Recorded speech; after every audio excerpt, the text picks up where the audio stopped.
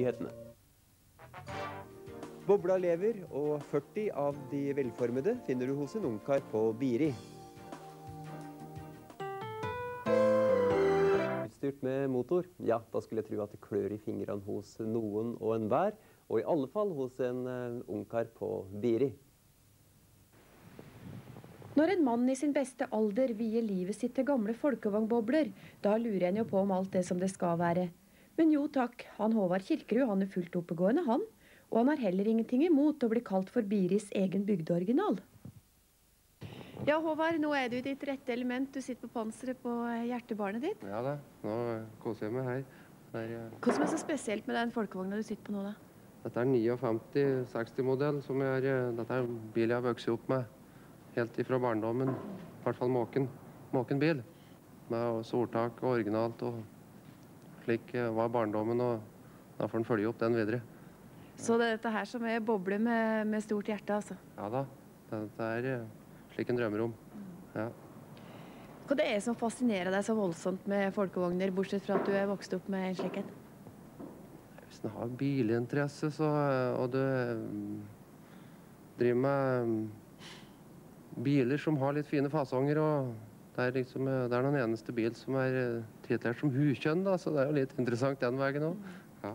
Betyr det at du drar paralleller til ei god og rund dame når du ser på en folkevogn? Ja da, det er, det er nok noe der. Mm. Hvor er den fineste forma på folkevogna, hvis du en gang skal sammenligne med damer? Ja, det er vel som med damer ellers. Det er både framme og bak, det. Okay. Men du er jo ikke bare bilinteressert, du. Du er jo en pellementmaker og en samler uten sidestykke. og Hva som får deg til å gjøre alt dette her, da? Nei, Det vet jeg ikke. Det er vel bare noe som har bygd seg opp gjennom tida. Ja, det, er, det bare drar seg på etter hvert. Du sier bl.a. at ditt største ønske er å få en telefonkiosk. Hvorfor, hvorfor har du ønska deg akkurat det? Nei, nei, det vet jeg ikke egentlig. Det, er, nei, det syns jeg er noe stilig å ha sin egen telefonkiosk på gården. Ja. Bruker du den? Nei, den er ikke oppkobla ennå. Den blir gjort i løpet av sommeren. I hvert fall så jeg får lys inn. Der, den ser litt stilig ut om natta da det lyser på telefonkiosken på gården. Og så kunne du kanskje ikke levd foruten et parti med skillevegger heller? Det kunne jeg nok ha klart. Det var nok mer tilfeldig at jeg ble med det. Men, men, det er jo noen tilfeldigheter hele livet det det består av. Hva du skal bruke alle skilleveggene dine til? Nei, Det har jeg ikke funnet ut av helt ennå. Men jeg finner nok på en gang. Hva er det Byris Reodor Felgen lever av? Det kan ikke være mye penger å hente på dette her? Jeg blir rik, det blir jeg nok aldri, men jeg har det fryktelig moro av det jeg driver med. Så det er jo en rikdom, det òg. Som menneske så skal en ha det litt ålreit.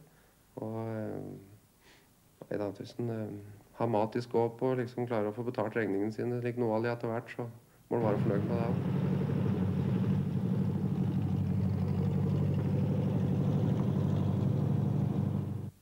Ja, jeg er helt sikker på at onkelen på Biri har det skikkelig moro med